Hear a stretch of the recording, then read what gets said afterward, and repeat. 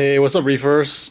Sad news. Um, like CJ noticed, I used to have two Gold Torch frags here. This is a smaller one, I have a bigger one. Uh, part of it is kind of closing up.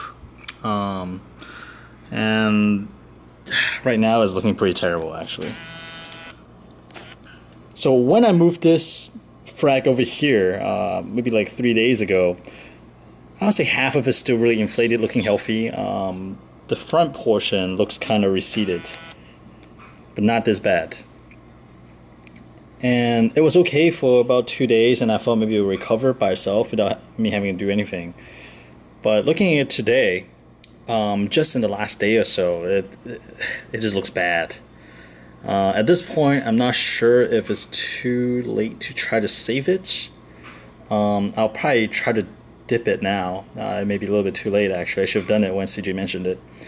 But, well, nothing to lose, right? I do have the solution at hand. The reason I didn't do it is that I thought it may shock the coral uh, by taking it out of the tank and into that solution. But it may have been the right thing to do. So live and learn, right?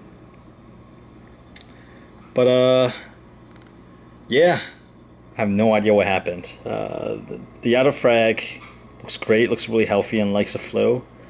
Um, if you look at the previous video, the front ha well, the front edge was receding a little bit. Um, but the rest of the frag was completely inflated. It looks okay.